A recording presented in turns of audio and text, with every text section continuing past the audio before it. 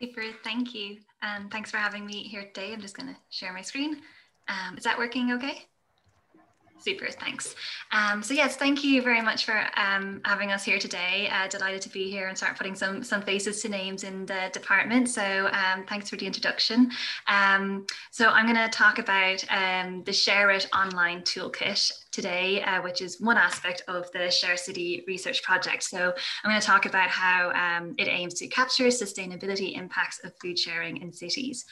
Um, so the talk outline I'm going to go through today is a little bit about the Share City Research Project, uh, which Kate has touched on already, um, a bit about what food sharing is and what we mean by food sharing when we're talking about it in this project, um, the online Share It toolkit that was developed by Anna and Stephen McKenzie and what the next steps are for that toolkit, which I will be doing hopefully over the next um, eight months or so.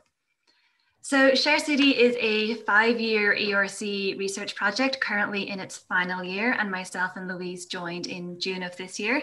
It has lots of different um, sort of pillars of activity going on, um, which uh, you will hear about two in detail today, uh, the Share It Toolkit from myself and Food Futures from Louise.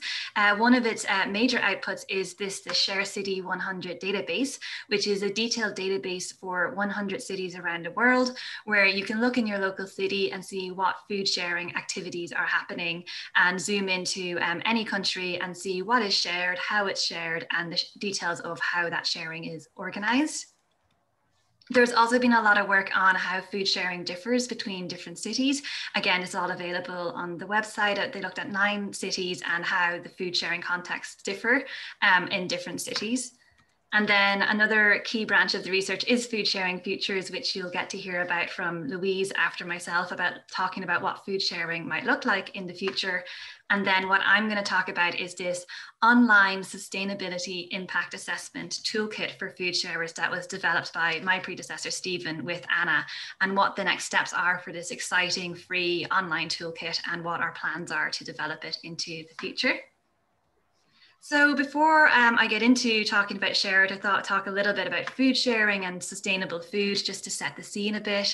Um, I guess we could ask the question, what would a sustainable food system look like? And uh, that could be a very detailed discussion that could go on um, for a very long time. But in brief, some aspects that you could consider uh, part of a sustainable food system is it would be ecologically responsible, it would be fair and accessible to all. It would likely involve food that is locally produced and locally sourced. It would be healthy, uh, nutrient rich food, possibly organic, and there would be very little or no waste associated with the food production and consumption system.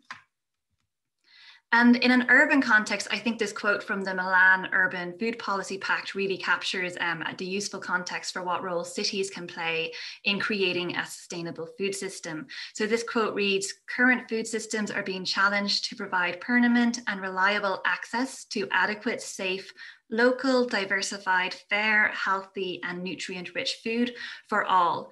Cities which host over half the world population have a strategic role to play in developing sustainable food systems and promoting healthy diets. So it is very much in this context that the Share City Research Project tries to answer this challenge of a sustainable food system in an urban context.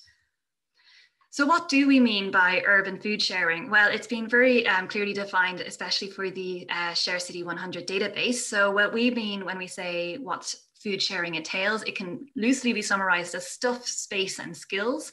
Um, more specifically, it could be the sharing of plant material, the sharing of food, compost, tools, land, kitchens, community kitchens, for example, knowledge and skills, and the sharing of prepared meals. In terms of how it is shared, we look at four key categories. Bartering, where you would exchange one item for another. Gifting, which would be like similar to donations of free food to people. Selling, so we include um, food sharing that's making a profit or is selling it at, at an affordable price to its local community. And collecting, which would represent groups that are rescuing um, waste food and food that has been disposed of but can be revalued and still used um, in the community. And then how are these organizations um, organized? How, how is food sharing organized? Again, several categories have been identified by the Share City research team. Um, so uh, the research considers groups that are charities and not-for-profits, social enterprises, groups that are for-profit and enterprises, cooperatives, clubs, associations and networks, and also uh, small informal groups of people taking initiative in their community to share and distribute food through these means. So if we want to put all of that in brief, um, the succinct way of saying that is food sharing involves any group that grows food together, eats food together, or redistributes excess food. So what role could sustainability impact assessments have for food sharers. A sustainability impact assessment is um, a set of indicator questions that capture the economic, environmental, and social impacts and a group is having, or a business is having, or um, a university is having, for example. Um, and one of the things that Share City really wanted to look at is what role these SIAs could have for food sharers. Um, and there's lots of different benefits of sustainability impact assessments, and there's more and more uh, regulatory frameworks in place to increase sustainability accounting among different groups at present. But just some of the major um, benefits of engaging with this practice for a food sharer could be to raise awareness about the range of impacts they are having, both internally as it could highlight positive economic, environmental, or social impacts they don't, they're not quite aware they're having. And also externally, it can really help them in communicating and articulating the positive impact their work is ha having. Um, it would also be helpful for things like funding applications, both uh, providing an evidence base to influence funding calls so that they are um, designed to help maximize these impacts, and also to strengthen the applications that food sharers are making by being able to clearly articulate and provide evidence of the impact they are having. And another key benefit of sustainability impact assessments for food sharers is to equip them to plan a more resilient future, especially given the year we've just had to be able to understand where your impacts are, where they're growing, and what are the gaps in your impacts um, for how you engage in strategic planning. So that's where the Share It Toolkit came in, developed by Stephen and Anna throughout this project. It has three features and it is a completely free online toolkit. The first feature is the tool shed, which creates a sustainability impact report that illustrates the social, economic and environmental impacts of your food sharing group. It then has the talent garden where you can share stories about the the activities and impacts your work is having, and the greenhouse, which aims to connect with others around the world to share experiences and learn from each other. So why use Share It? Why would Share It be um, particularly useful in this field? Well, for the toolshed, it's completely free to use.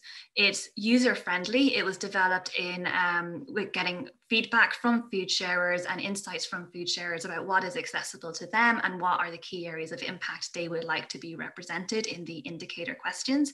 And it provides um, an opportunity to give both qualitative and quantitative data on the impacts you are having. The Talent Garden provides a space, a very important space where you can collate impacts that can't be measured in the restricted questions of the toolshed. And this could include, for example, uh, evidence of impact like photographs, videos, anecdotes, testimonials from your participants or your board members, um, and other reports that you've done in the past. You can collate and share them in this Talent Garden to complement the impact assessment you've done in the toolshed. And finally, the greenhouse aims to achieve translocal empowerment by connecting local groups around the world facing similar challenges so that they can share knowledge and skills and learning with each other.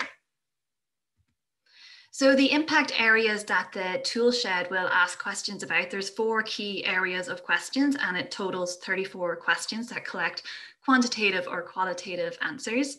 And these four areas are environment, social, economic, and governance. In the environment section of the toolshed, you would be asked about your practices around a food sharing initiative, and what emissions are involved, and what waste is either saved or generated by the practices of the food sharing.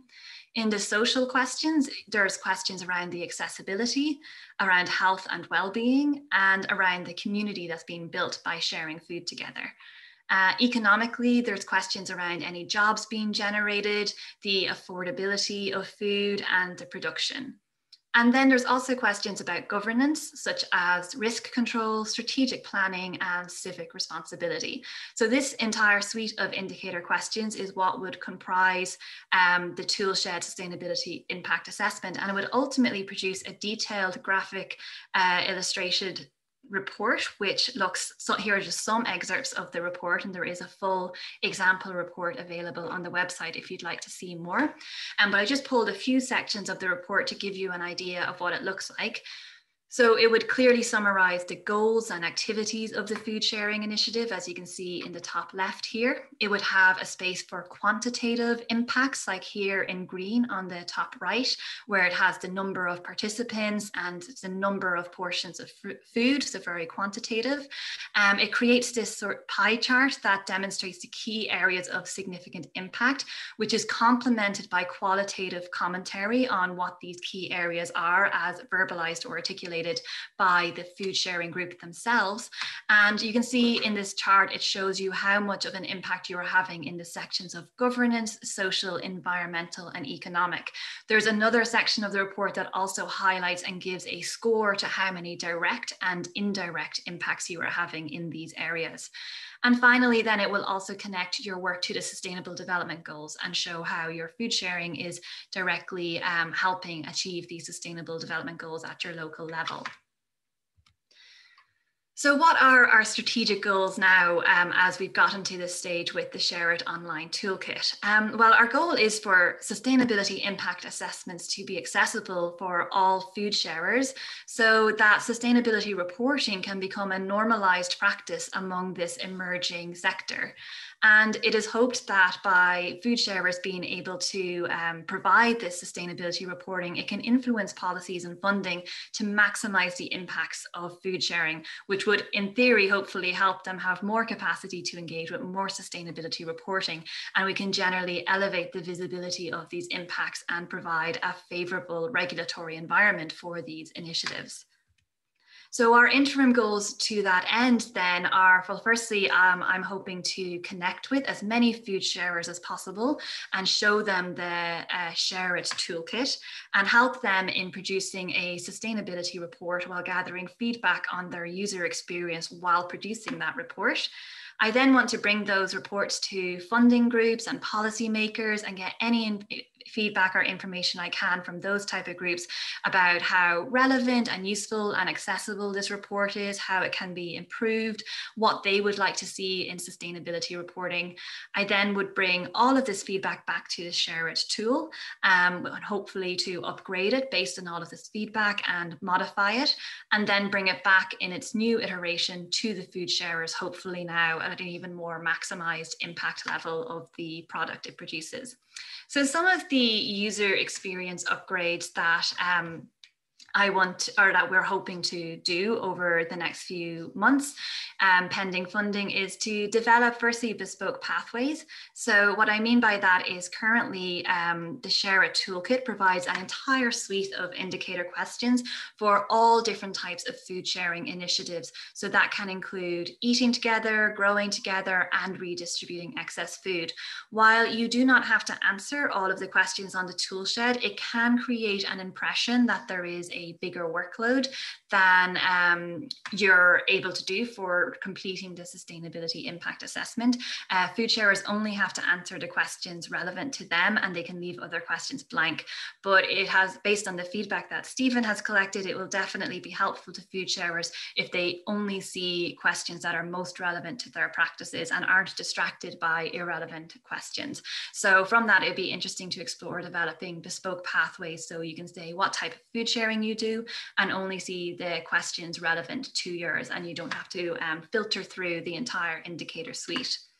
Another user experience upgrade is to look at um, how to provide capacity support. So again, a lot of the feedback did show that food sharers um, obviously uh, don't have huge capacity for paperwork and extra reporting loads and engaging in more reporting. So while there was an interest and a want to capture their sustainability and impact um, account accounting, um, they would need additional support, especially the smaller groups in order to be able to complete this entire process of using the toolshed to create the output report.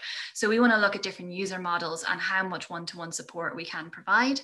Um, and then uh, finally, we'd like to translate the toolkit into different languages um, so that it can be used by a more international uh, group of food sharers.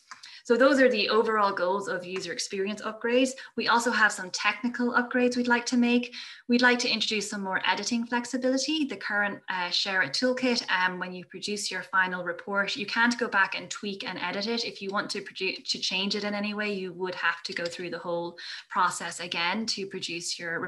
So we'd like to change that so that you can go back and edit the reports uh, piece by piece and not have to answer all of the questions again if you want to update and change some of your data in the uh, report. Uh, we'd like to look at the design and see if we can improve it, especially if it could generate social media graphics, for example, for food sharers um, and make it more instantly understandable to people who maybe aren't from an academic or scientific background, that they can instantly visually see what impact this food sharing group is having. So we'd like to review the report design. And we'd like to launch the greenhouse. So when we have enough active participants um, in the shared community using the toolkit, we'd like to activate the greenhouse and start connecting them together so that they can equip and empower each other remotely uh, from different um, contexts facing similar challenges. So in the interim, the, this is all pending more funding to do these more detailed upgrades, but in the interim to continue um, gathering feedback um, and to gather evidence for these funding applications. Um, we are offering one-to-one virtual support to any food sharers. So I myself can video call any food sharer and talk them through the tool shed and help them with that capacity barrier um, to engage in sustainability reporting. Uh, we're developing new video tutorials um, on how to complete the um, toolshed questions and how and we're also updating the reader materials and the user guide to make it as accessible as possible um, to the audience. So the next steps then is um, I'm currently working to create a contact database of as many uh, food sharers, funders, policymakers as possible. And if any of you um, know people in your network, please do drop me an email um, and let me know anyone you think who might be interested in this. I'm trying to get as many contacts as possible.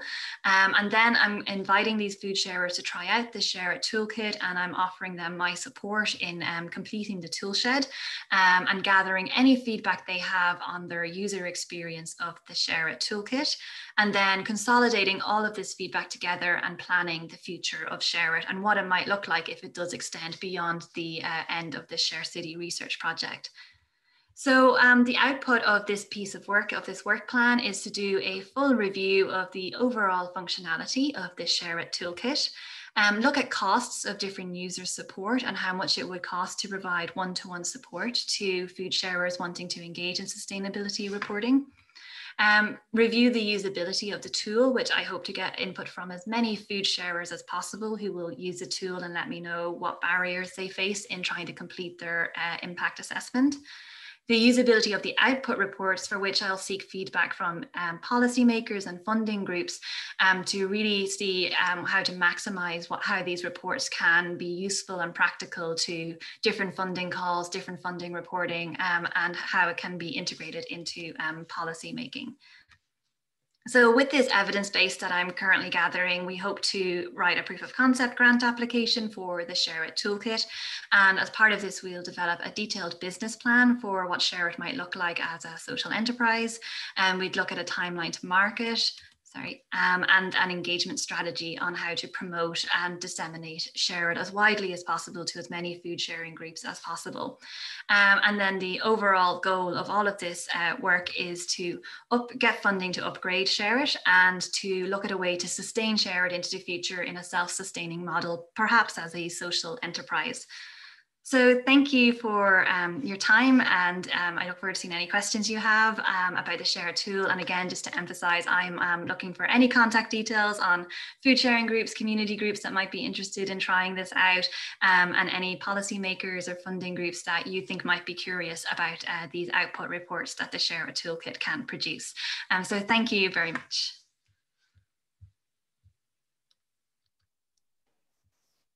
Great. Thank you so much, Alwynne. Um, lots of interesting things there, and I'm sure there'll be some great questions to follow. So perhaps we go straight into Louise's presentation when you're ready, and then we can come to questions at the end. Yeah, sure thing. I'll just share screen. There we go.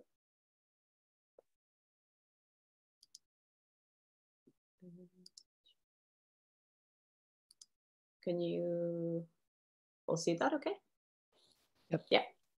Okay, great. So yeah, thank you so much. I'm really happy uh, to be taking part in the seminar and to get to meet some of you and put um, faces to names. So um, yeah, I'll be talking about food sharing future scenarios, um, which is, is my um, work um, at Share City since I joined in June. Um, so yeah, like was said, thank you for the introduction.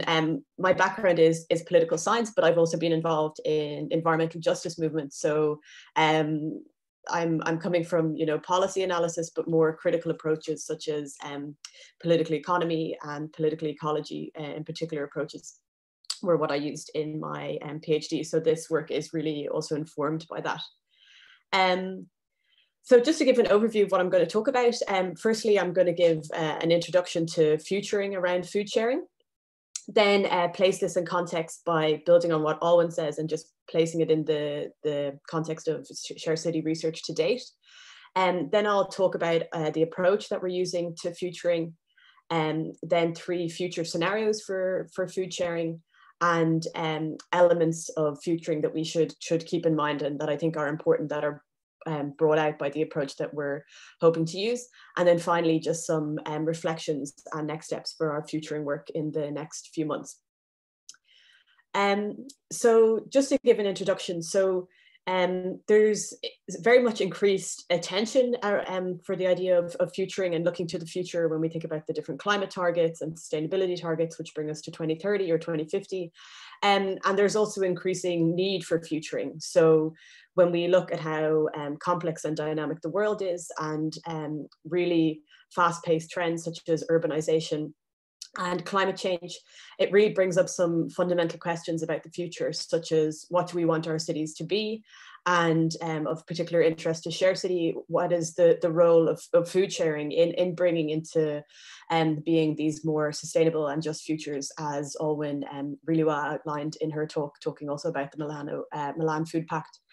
Um, also looking at trends like technological innovation, um, really critical questions about what does this mean for the role of urban food sharing in the future and what are the, the broader challenges and opportunities that come with um, technological innovation and technological imaginaries increasingly intersecting with how food is produced and consumed within cities and really futuring uh, broadly is about exploring these trends and, and seeking to make sense of them and seeking to make sense um, of what it will mean for our particular issue of interest, which is um, food sharing.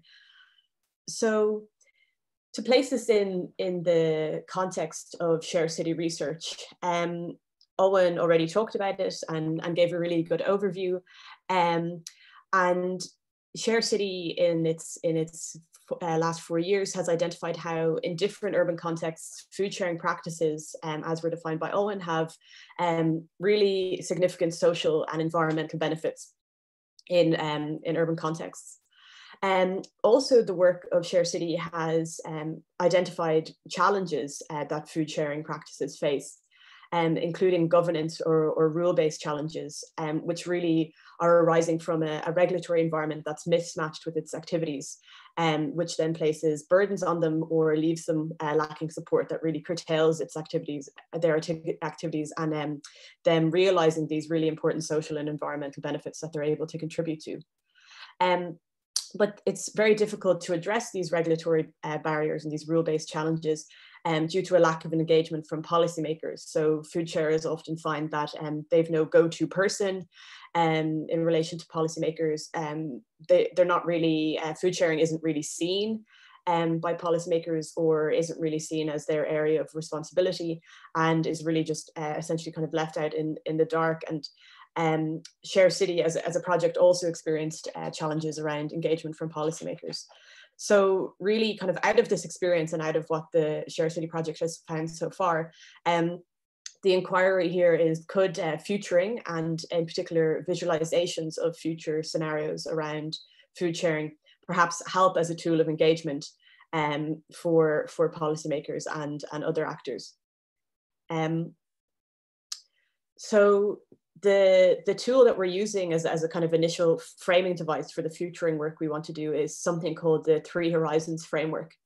So Three Horizons is a simple, intuitive tool for thinking about the future. And what it does is it draws attention to different futures as already existing in the present. So if we look around us, we can see different versions of the future um, already being enacted in, in different practices by different people. And Three Horizons really draws our attention to what we can already see in the present as kind of signs of what could happen in the future going forward. Um, these are represented by different horizons um, and contained within all patterns we see all around us. And the horizons I'll, I'll talk through in, in the next slide. So the framework was um, developed by someone called Bill Sharpe and others, and it's all accessible online. Um, a lot of it is used, uh, it's used a lot of the time in, in group, transformative group processes where you bring all different actors around the table. So they've put everything available online because they wanted to make it as open access. Um, so it's called the International Futures Forum, or if you just Google that, if you want to look into, into it in more detail. And what we're going to do is using Share City research to date and um, develop these scenarios using this as an initial framing device. And as well as allowing us to explore the kind of broader trends which will shape um, food sharing futures going forward. So like I talked about these broader trends of um, technological change and um, trends like this. So the Three Horizons framework is um, represented visually um, as we see here, and I'll talk us through the various elements. So the, the first horizon, which is represented here in red, is horizon one. And this is the, the managerial view. So this is um, very much dominant actors and familiar ways of doing things, familiar practices um, that we see around us all, all the time, really business as usual. Um, horizon three, which is represented in green down below, this is known as the, the visionary horizon or the visionary view. And this is essentially pockets of the future we can already see in the present. So um, different groups, different ideas that are articulating um, very different assumptions about how we relate um, to, to one another, how we relate to nature. Um, something that came up a lot in, in Share City work to date in workshops was um, ideas such as food as commons. So these very visionary um, alternatives. Um, and then Horizon 2, which is represented here in blue, is the entrepreneurial view. So this is a, a zone of innovation. Um, it's highly turbulent as um, actors try uh, different things out and try and, um, and change the business as usual system.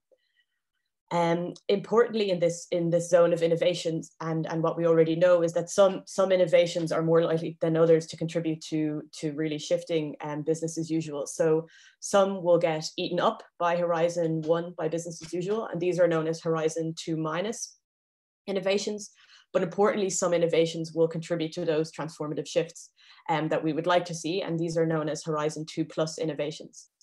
And the x-axis here is time, so that's how these patterns are changing over time. And the y-axis is, is pattern or, or strategic fit. So if we look at it, we can see that Horizon 1 business as usual is losing its strategic fit over time, which we know um, is the case in a, in a lot of issues that we're that we're engaging with, and is certainly the case with regards to the the food system. That there's a lot of issues with regards to justice and sustainability, and it's losing that strategic fit. So, Three Horizons, um, like I said, is going to be used as an initial sort of framing device for the futuring work we want to do. Um, so using the in-depth data that Share City has already gathered over the last four years, um, we'll use this to identify the different um, actors and assumptions and practices as they sit on the different horizons. Um, within Three Horizons, what's also possible is to um, do scenario planning, um, which is used to look at, okay, how do we deal with different scenarios as they come up? And what this offers us and what I'm gonna bring us through is um, archetypes of transition processes. So the people who developed Three, Three Horizons have, have spent a lot of time looking at how transitions happen and have basically articulated a number of, of archetypes or variants for how transition processes can go. Um, the important thing to note in Three Horizons is that um, it's, it's called, uh, the scenarios that we develop in Three Horizons are called transformative or, or normative scenarios. So it's not like um, oftentimes with kind of mainstream scenario planning, uh, it's looking at scenarios of what could happen due to external factors. And um, so it's sort of like things that could happen to us that we then have to plan for. Um, rather, um, in Three Horizons, it's, it's transformative or normative in the sense that we set a vision that we want for the future and that we have a stake in and that we want to do something actively to, to bring that into being. So um, in this case, the kind of transformative or normative scenario we have, like Owen already outlined, is really around a more just and diverse and sustainable uh, urban food system. So um, based on this, like I said, we can articulate different um, scenarios of the future and I'll just talk us through each of them. So there's going to be three scenarios um, that I'll talk about. Um, scenario one um, is the variant known as challenge and, and, and transformation. And this is the, the um, similar to the diagram we already just saw when I introduced the tool. Um, so really in this, what we have as we look across time is that business as usual um, that there's there's really a shift um, towards this emergence of a more a more viable future, a more just and sustainable future. Um, so in this scenario, what we might see from policymakers, from those business as usual actors, for example, is bringing in um, policies to support uh, food sharing, to support these these um, these niche innovators that are helping to bring into being these more just and sustainable alternatives. Um, a kind of textbook example there um, of policy actors helping to make this smooth transition um, is often talked about the, the feed-in tariff policies that were introduced in places like Germany, which um, helped shift resources from the kind of dominant energy system to um, those who were innovating in, in renewable energies. Um, and really helped facilitate those shifts in, in um, resources. So really what we would see here is, is these supports and the emergence of a more, more diverse um, food system um, a more diverse, resilient food system.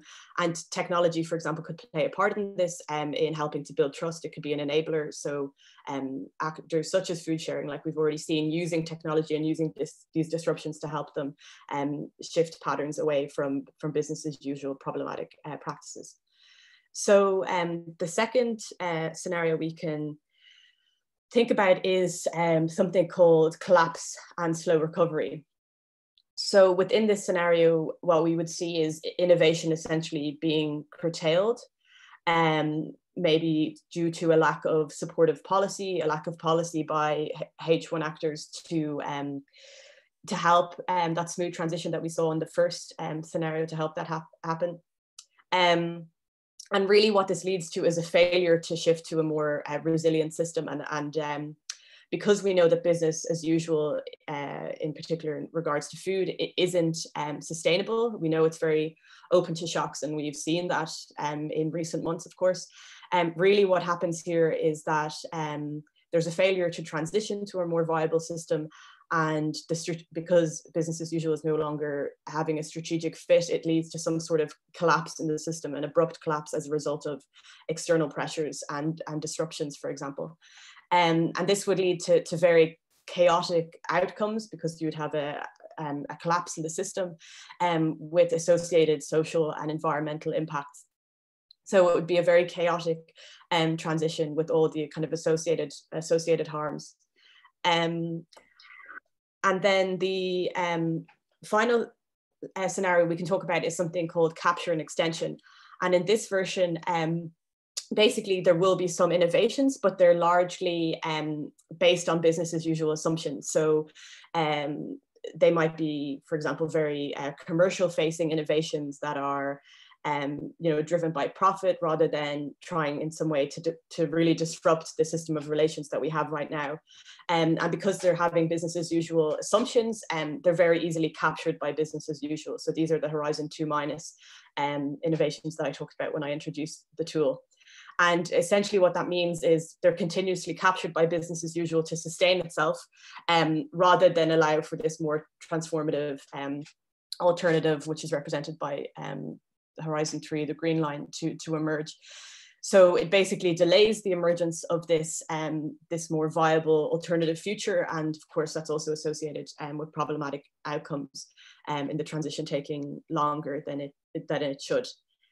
Um, so kind of three elements that I think are, are important in futuring and that are that are enabled by the Three Horizons tool is um, firstly uh, making power and agency explicit. So And H1 actors as incumbent players and policymakers have the power to inhibit or support transformations to more just and sustainable food systems. Um, and, and that's really made quite clear by, by Horizon One, and it, it's something we, we all know, but it's important, of course, to state it. Um, within Horizon, within Three Horizons as well, and importantly, everyone can be agents of change. So it really elevates um, food sharers as being those those kind of innovators that we see, those those social um, innovators in trying new things out and trying to to shift the system um, within that zone of of innovation.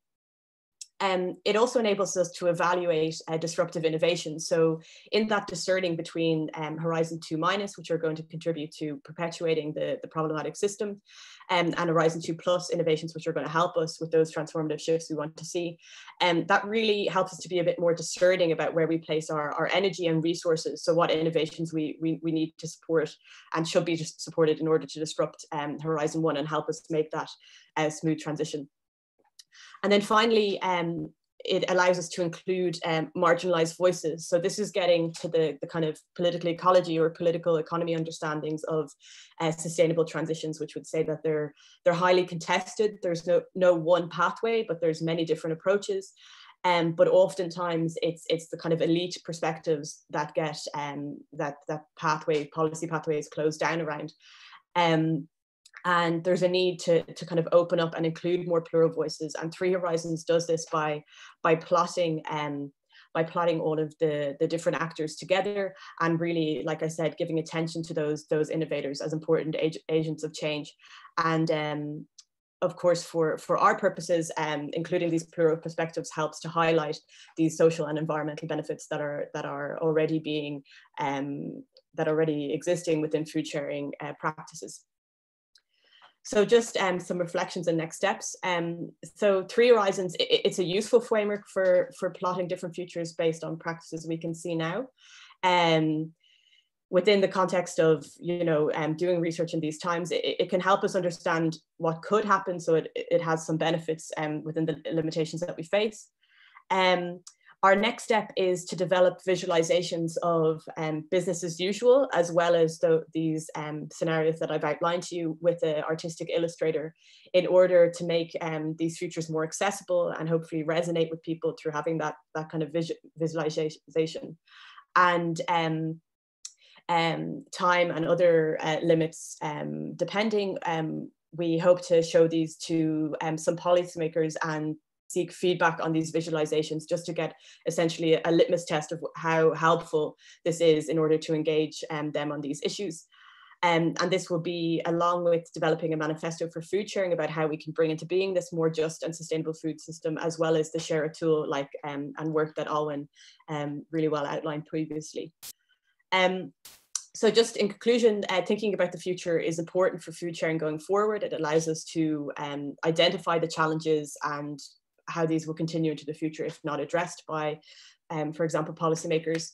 Um, some versions of the future are more desirable than others, as outlined. Um, some versions of the transition, so you know the outcome, the transition is just as important um, as the outcome. So how we get there, the process is is really important.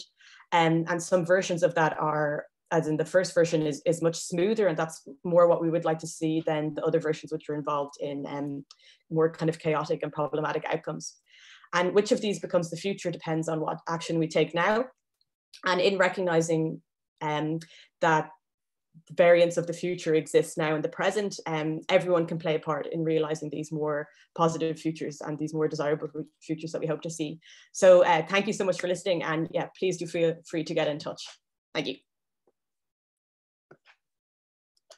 Great, thank you so much, Louise. Um, and Alwynne, again, I, I, can see there's already a couple of questions and I'm sure there'll be great opportunities for some discussion here. So if anyone wants to write down their questions, please take a moment, feel free.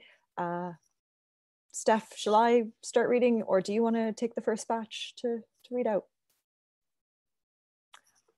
Uh, very happy for you to go first. Okay. Um, well, I will use the chair's prerogative then since the first question is actually my own. Um, so the first question would just be more directed towards uh, the toolkit. However, it probably fits to with the, I think, quite praxis-driven approach to this project more generally. But I was wondering if you thought the toolkit could be incorporated into higher education learning and assessment activities, perhaps as a way of helping students to develop evaluation skills, while also providing additional research capacity for food sharers.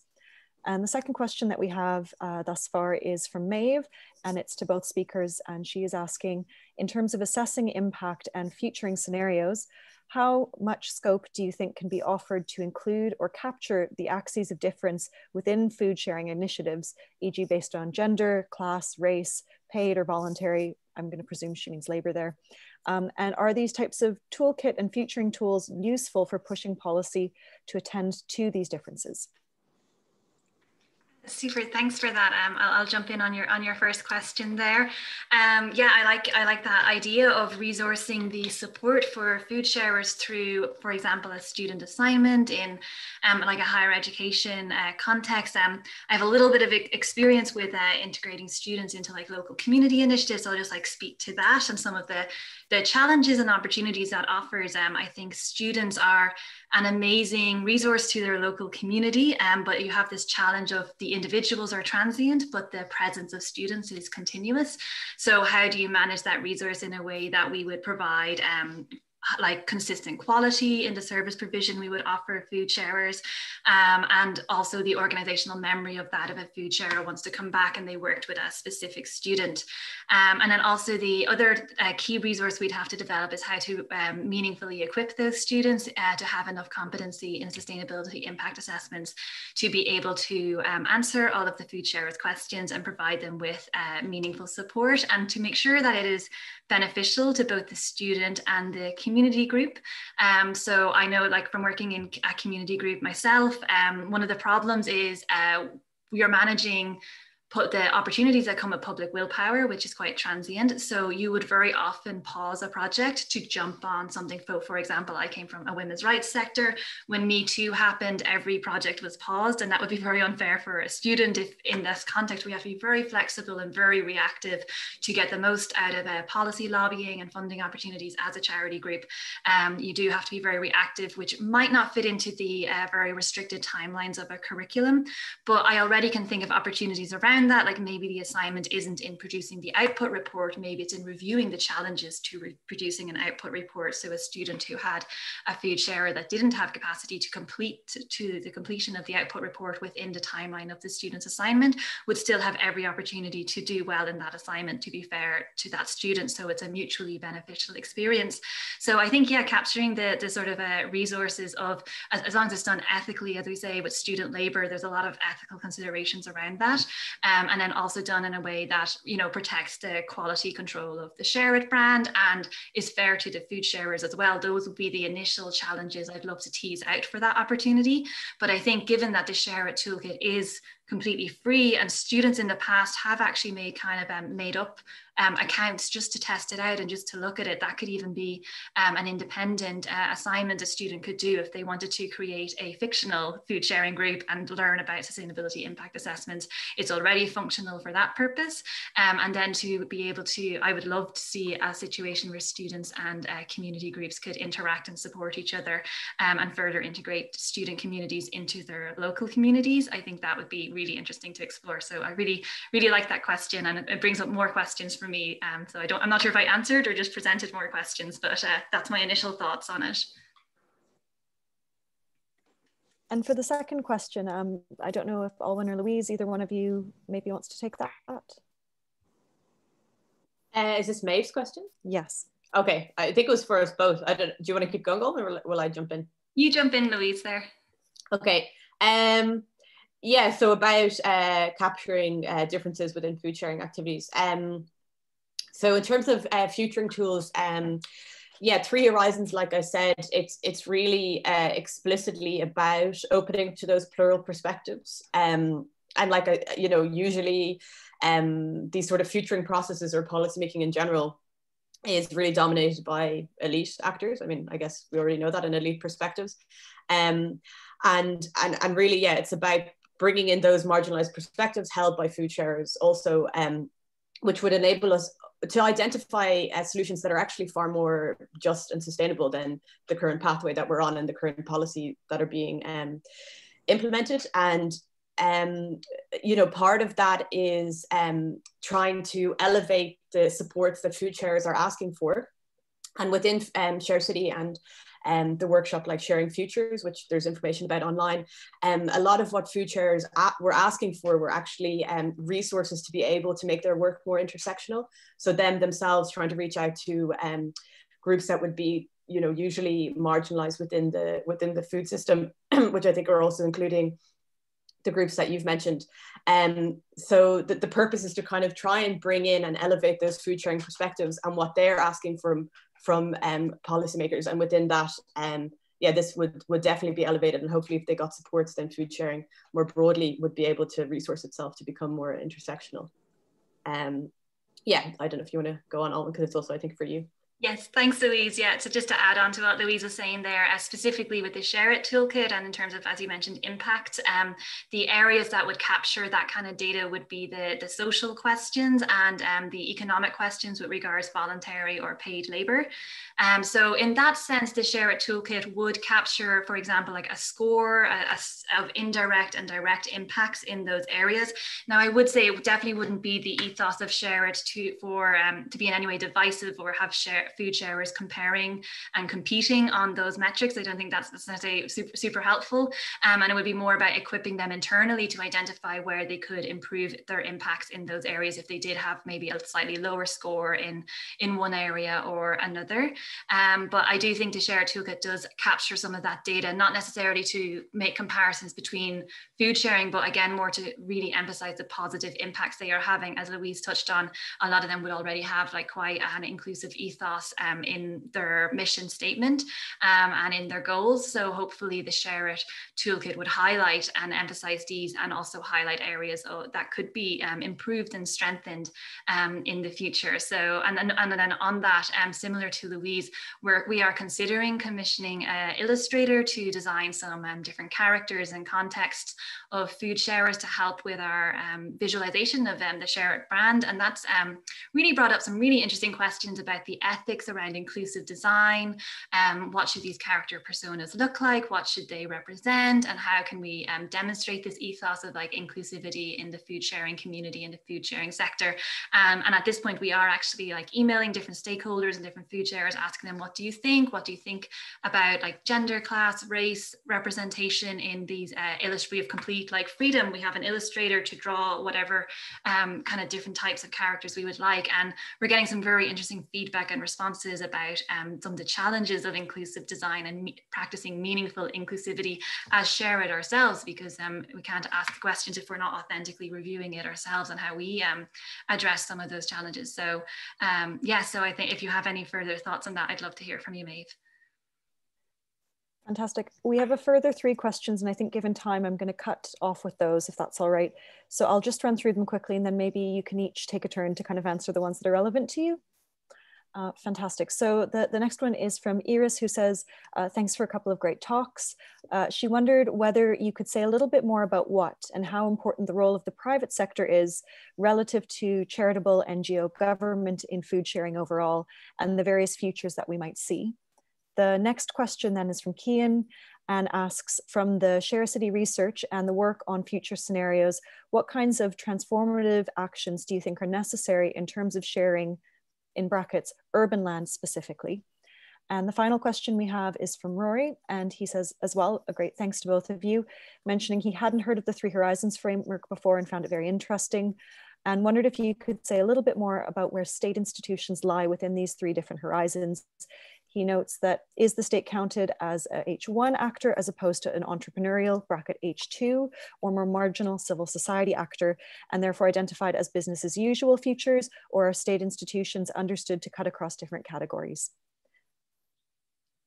So a fair bit on futures, but if you both want to take a turn for um, any responses to those questions yeah. or final remarks. Maybe I'll jump in on the first one, Louise, and think the second two are, are a little bit more future emphasized. Um, in terms of the sure. role of private sector. Um, uh, so in, um, in Iris's question, and it's relative to charitable NGO government food sharing overall and the various features we might see. Um, I think, um, yeah, it's, it's a really interesting question. Like we do, of course, uh, include the private sector in the share in what we define as sharing. We include for profit as a type of sharing.